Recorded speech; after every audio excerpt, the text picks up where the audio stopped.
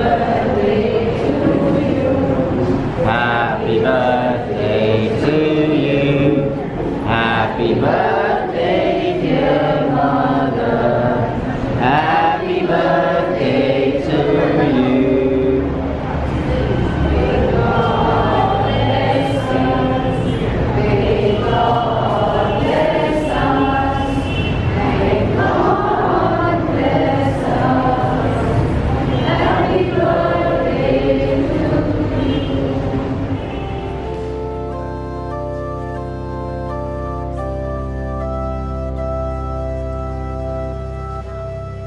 Ad honorem sancte et individue Trinitatis, ad exaltationem fidei Catholic,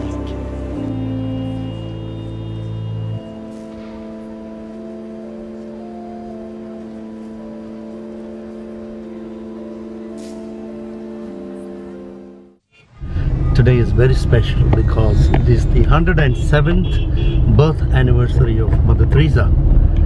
So we are here at the Mother House to pay homage to Mother Teresa and pray to her and get her blessings. And uh, we also had a special ceremony at Archbishop's house where we had uh, installed Mother Teresa's bronze statue close to her friend John Paul II's bronze statue.